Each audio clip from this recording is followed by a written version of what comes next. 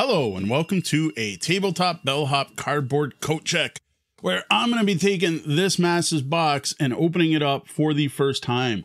I am Mo Tuzno, the tabletop bellhop, your cardboard concierge, helping you make your game nights better by showing you off what you get in the box. For number four in the City Collection from Queen Games, this is a bunch of games from Stefan Feld some of them reprints and some of them brand new games that have been released by Queen Games over the last couple years. This one is one of the brand new games. This is not a re-release of a previous Stefan Feld game or a retheme. This is a totally new game that includes one of my favorite things of all times in all board games, and that is a cube tower. Though in this particular game, you do not put cubes in it. And I'm sorry for covering up my face. This box is so damn big, it barely fits on my camera. So what I'm going to be doing tonight is opening up this box. I do have to thank Queen Games for letting me take a review copy of this home from Origins Game Fair. Greatly appreciated. I am a Stefan Feld fanboy. I'll admit it. I love Stefan Feld's games. Some of my favorite games of all time are by him, and I am really looking forward to this because I also like medium to heavyweight Euros, and that's exactly what this is. It's a point salad. There's so many things going on. I can't wait to dig into this game. But step one is going to be opening the box so join me as I crack open my copy of Marrakesh. All right, so so here you have my copy of Marrakesh. All I've done at this point is crack the shrink off, and of course, the most noticeable thing here is this is a massive box. This this game is huge. This is going to take up a lot of room on your shelf. Um, another thing I am going to call out is Queen Games is a German publisher, publish uh, prints their games in Germany, have switched to doing more green things. So there, this has actually earned the Green Games logo of Germany, which is pretty cool. I'm going to show off the sides as best I can, but because of how tall this is, you can't really see it all that well. But what I will note is that I like the fact that if you store your games vertically, the label's one way on one side, and if you store them horizontally, it's the other way on the other. And it's also like that, so if you go either direction, so that's pretty cool. Um, so again, this is uh, the new well, I don't know if it's his newest game at this point, but a, a new game from Stefan Feld. Uh, a lot of the games in the City collection were actually reprints of older games with new themes. So I have not seen the inside of this box. Um, I've not even done a demo of this. The only version of Marrakesh I've seen is the new edition, which is in a smaller box with less deluxe components that is more accessible. This is, of course, the big box. I, I wouldn't say deluxe edition, but the the big box fully featured edition from Queen Games. And look at that. Look at the wood and piles. There is no insert here. There is just a ton of stuff piled in this box that I'm slightly intimidated by. And I'm not quite sure where the best place to start is, which I guess we're going to go with the top. So what I'm going to do is kind of slide this box off to the side and I'm going to put the components out here. So there is a massive bag here filled with baggies, filled with wood. So there are a whole bunch of wooden bits in here. And then um, one extra bag Kind of strange. So I'm going to start with this and open each of these up. And I'm not going to show you the individual components. So they call these keshes. They are the like resource that you're going to put around on your different boards that represent different things. There are 12 different colors of these.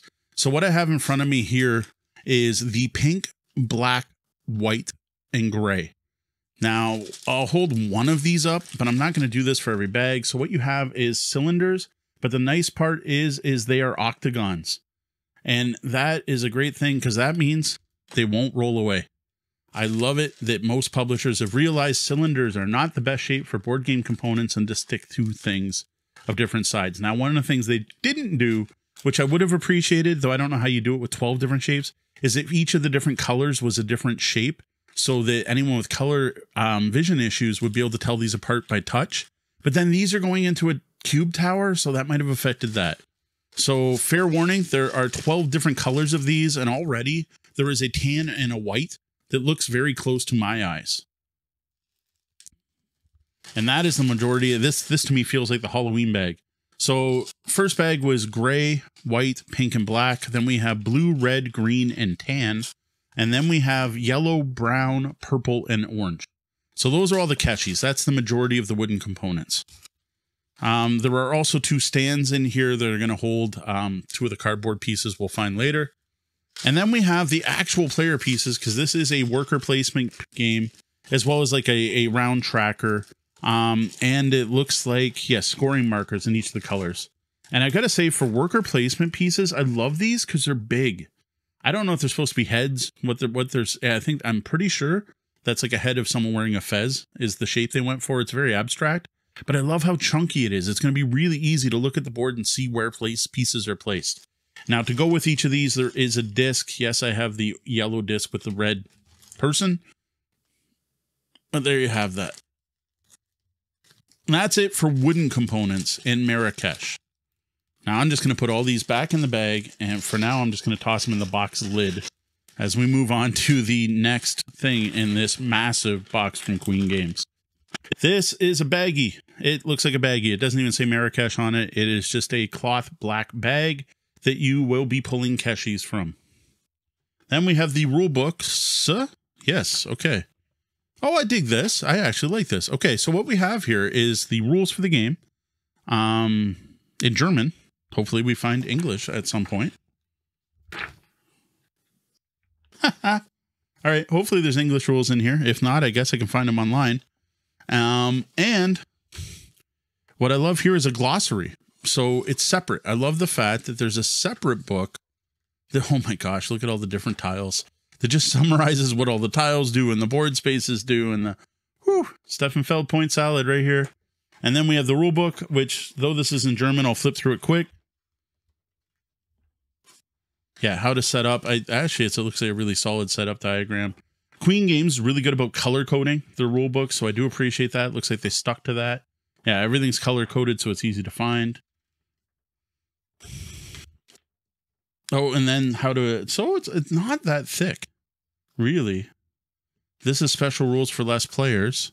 They're only like 13 pages, though that's a pretty small text. Oh, and then showing off all the other games in the City series, which I'm sorry, I want them all. I, I am partly a board game collector. I would like all of these here, please. Can we can we just have all of those? All right. Hopefully I find English rules in here as well. I don't know if that's a buyer beware issue, if they're not in here, if that's because it was at Origins. We'll put those aside. Uh, this is the cube tower that you're going to build at some point. That's what we have here. I, I am not going to know what all these pieces are, but there's the like the funky punch outs to make sure not everything falls through. Camel token who follows Stefan Feld, so that's the first player tokens. Um, these go on the river and do things at the end of rounds. Again, not a teach, and I have not played this. Show both sides. Then we have summary cards that are very thin, ridiculously thin, but they are of that like thicker, won't tear easily paper. That's fine. I, I, I greatly appreciate they exist. I, I think this is a game that's going to need it. Um, these are in English on both sides. No, German on one side. I'm going to guess English rulebooks in here somewhere.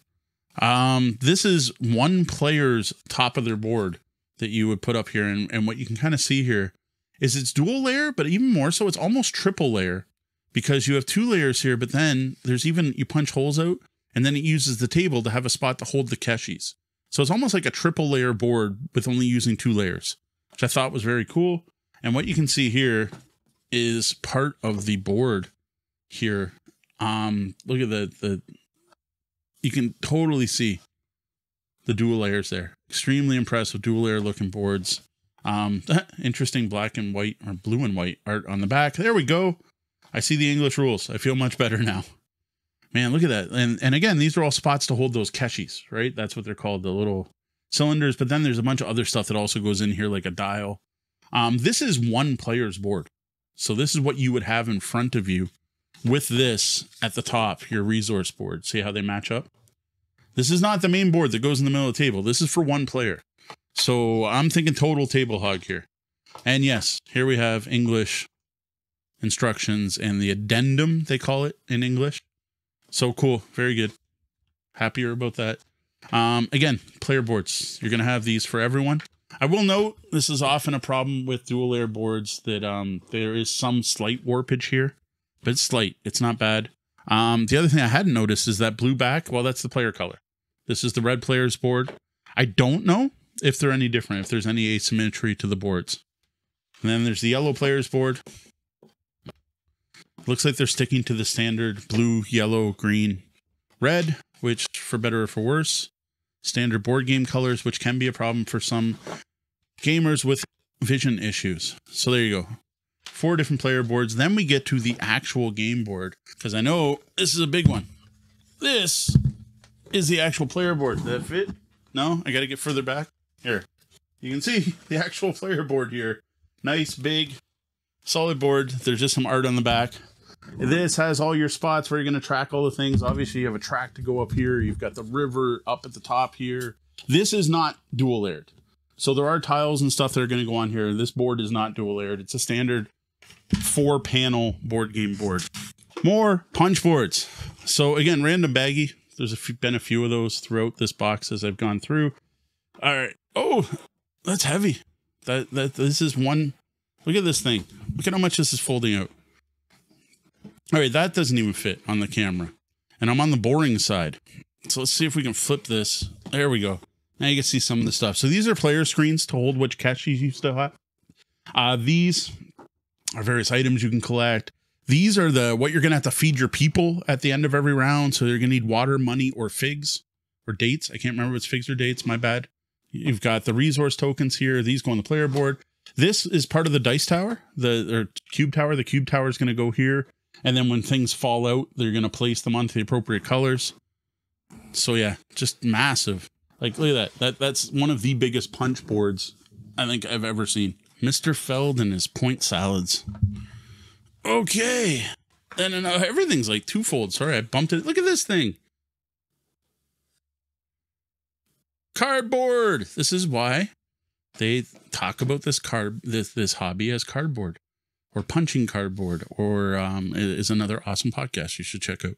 Um why I call this a cardboard coat check. So this is like uh, resource things. These are gates you can buy. These are the the the money and water, more resources. These are the oases that go on your deserts. There's just so much in this. Look at all this stuff and it's all really well punched. I've had a couple kind of pop out as I'm doing this. And then another, oh my God, it's another massive one. Holy cow, look at it. It's another one. It's another huge one. These are all the scrolls. These go on top of various buildings you can collect. Oh, my stuff's getting in the way here. Here. Look at them all. Yes, one is punching itself. You can see it hanging there. At all the scrolls. I like I, I could this could be my desktop background. Look at that. The amount of stuff in this game.